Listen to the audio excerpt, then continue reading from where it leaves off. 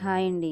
Welcome to my channel Hema talks and vlogs ఈరోజు morning నేను first చేసే పని కడిగి ముగ్గు పెట్టుకోవటం.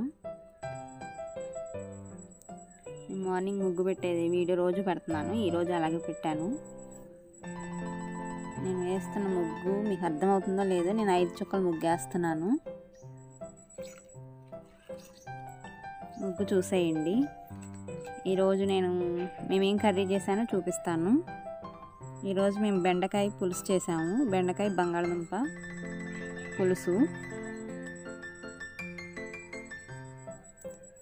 కర్రీ ఎలా చేసామో చూపిస్తాను. ముగ్గు అయితే చూసేయండి.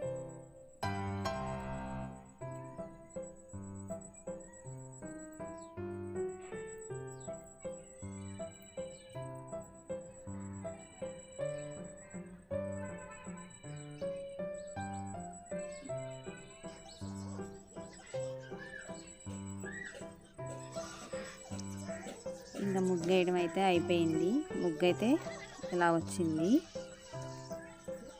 ఇప్పుడు ఇంకా మధ్యాహ్నానికి లంచ్లోకి కర్రీ ఎలా చేస్తామో చూపిస్తాను.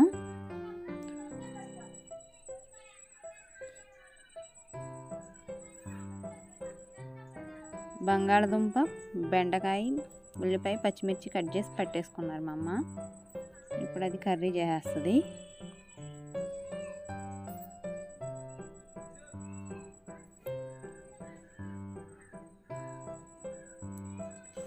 ఫస్ట్ ఆయిల్ పెట్టుకొని హీట్ అయిన తర్వాత తాలింపు గింజలు. ఇంకా అందరిలాగే తాలింపు వేసేస్తుంది. తాలింపు గింజలు జీలకర్ర వెల్లిపాయ కరివేపాకు కొంచెం మెంతులు. ఇవన్నీ వేసి తాలింపు పెట్టేస్తుంది. ఈ తాలింపు అంతా ఫ్రై అయిపోయిన తర్వాత ఇప్పుడు ఉల్లిపాయ పచ్చిమిర్చి వేసేసుకొని కొంచెం ఫ్రై చేసేసుకుంటుంది.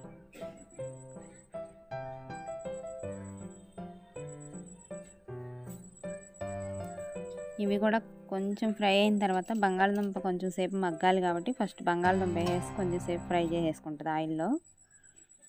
కొంచెం ఫ్రై అయిన తర్వాత ఇప్పుడు బంగాళదుంపలు కూడా వేసుకుంటుంది.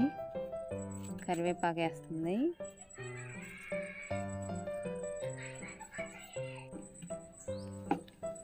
ఇప్పుడు బంగాళదుంప ముక్కలు వేసేసుకుంటుంది. ఇవి కూడా కొంచెం ఆయిల్లో ఫ్రై అవ్వాలి.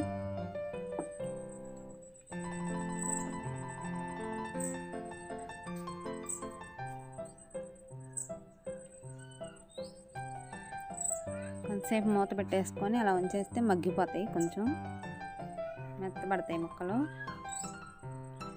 ఇప్పుడు ఆయిల్లో కొంచెం పసుపు వేసుకోవాలి. ముక్కల మీద వేస్తే పసుపు అంతా పట్టదు. ముక్కలు పక్కన పెట్టి ఆయిల్ దగ్గర పసుపు వేసి ఇట్లా ఫ్రై చేస్తే ఇప్పుడు ముక్కలు మొత్తానికి పసుపు పట్టిద్ది.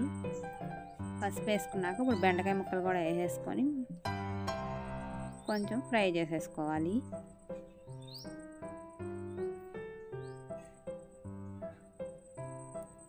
బెండకాయ ముక్కలు కూడా ఒక టూ మినిట్స్ ఫ్రై అయిన తర్వాత ఇప్పుడు సాల్ట్ వేసుకోవాలి సరిపడా. కర్రీలోకి సరిపడా సాల్ట్ వేసుకొని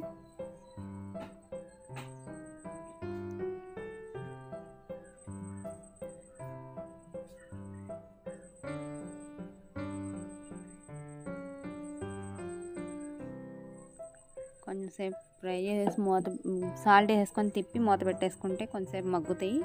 ఇప్పుడు అంతా మగ్గిన తర్వాత సరిపడా కారం వేసుకోవాలి కారం కూడా కొంచెం సేపు రెండు నిమిషాలు ఫ్రై అవ్వనివ్వాలి ఆయిల్లో. లేదంటే పచ్చివాసన వస్తుంది కదా కొంచెం సేపు ఫ్రై అవ్వనివ్వాలి కారం కూడా. కారం కూడా ఫ్రై అయిన తర్వాత ఇంకా చింతపండు రసం వేసుకోవాలి. చింతపండు జ్యూస్. పిండి వేసుకోవాలి. చింతపండు రసం సరిపడా వేసేసుకొని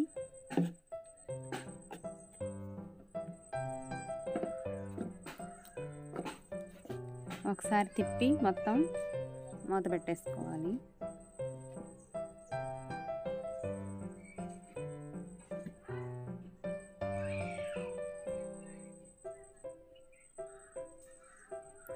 ఇలా పులుసులో ముక్కలు అన్నీ ఉడికిన తర్వాత ఒక ఐదు నిమిషాలు అలా ఉంచేసి ఇప్పుడు చూసి తీసి ఇప్పుడు కొంచెం బెల్లం వేసుకోవాలి పులుసులో. టేస్ట్ బాగుంటుంది బెల్లం వేస్తే. బెల్లం పచ్చి కరివేపాకు వేయాలి ఇప్పుడు పులుసు మరిగేటప్పుడు. ఇలా వేసి మళ్ళీ ఒక్కసారి రెండు మూడు నిమిషాలు అట్లా ఉంచేస్తే పులుసు ముక్కలకి బట్టి అంత టేస్ట్ బాగుంటుంది. ఇంకా లాస్ట్ అయిపోయింది కూర. కర్రీ అయితే ఆఫ్ చేసేసింది. ఫైనల్గా బెండకాయ బంగాళదుంప పులుసు రెడీ అయిపోయింది. నేను ఆ రోజు టిఫిన్కి ఉప్మా చేశారు. నేను అసలు ఉప్మా తినను. నేను అందుకే పులుసు అయిపోగానే టెన్ థర్టీ అయింది. అప్పుడు కొంచెం అన్నం పెట్టుకొని తింటున్నాను. మా పాప షూట్ చేసింది.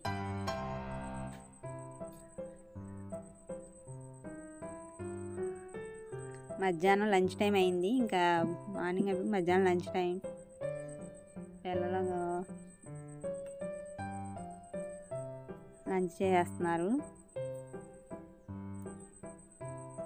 కర్రీ అయితే చాలా బాగుంది. మా అమ్మాయి మా అమ్మాయి అయితే బంగాళదుంప ముక్కలు మట్టుకే వేసుకొని తింటుంది.